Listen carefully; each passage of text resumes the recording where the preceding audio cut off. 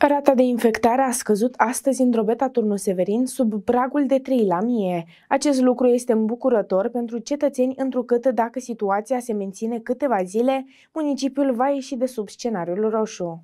Vești bune pentru severineni. Municipiul Drobeta Turnu Severin este la un pas de a ieși din scenariul roșu. Astăzi, rata de infectare a fost de 2,80 la mii de locuitori. Totodată, Direcția de Sănătate Publică a înregistrat 34 de cazuri noi de îmbolnăvire cu COVID-19 și două decese la nivelul județului Mehedinți. Situația epidemiologică din județul Mehedinți de astăzi, 14 aprilie, este următoarea. 772 persoane se află în carantină la domiciliu sau la locație declarată de aceștia. 163 persoane se află internate în spitalele suport COVID din județ, 430 persoane sunt izolate la domiciliu asimptomatice.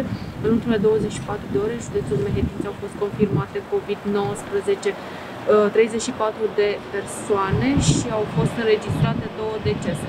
Rata incidenței cumulative COVID-19 la 1000 de locuitori în județul Mehedinți este de 1,88.